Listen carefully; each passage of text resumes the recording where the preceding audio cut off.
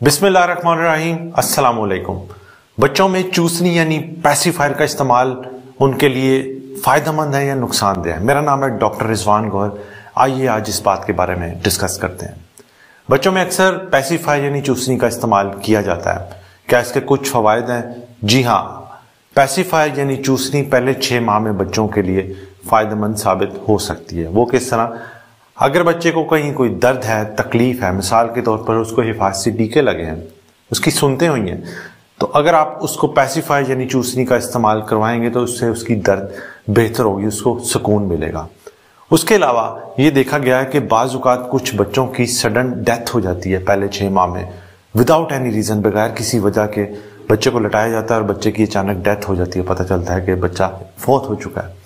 इसको कहते हैं सडन इन्फेंट डेथ सिंड्रोम यानी सिड्स इसकी प्रिवेंशन इसकी रोक, रोकथाम में भी चूसनी फ़ायदेमंद साबित हो सकती है। ये एक रिसर्च बेस्ड एविडेंस है। अब सवाल ये आता है कि कब यूज़ करनी चाहिए, कब इसको छुड़वाना चाहिए। यह नहीं होना चाहिए कि चूसनी को एक बार आपने लगाया तो ये बच्चा चूसनी इस्तेमाल ही करता रहे। कोशिश करें, पहले छह माह में इसको आप इस्तेमाल करें, लेकिन इसकी सफ़ाई का खास ख्याल रखें। और अगले छह माह में, यानी एक साल की उम्र तक इसको छुड़वा दें, क्योंकि अक्सर बच्चे चार चार साल तक चूसनी इस्तेमाल करते हैं। इतना लंबा अरसा चूसनी इस्तेमाल करना बच्चों के लिए नुकसानदेह हो सकता है। एक तो चूसनी से जिसम में इन्फेक्शन फैल सकता है, गला खराब हो सकता है, कान का इन्फेक्शन हो सकता है, और दूसरा बच्चे के दांत भी खराब हो सकते हैं।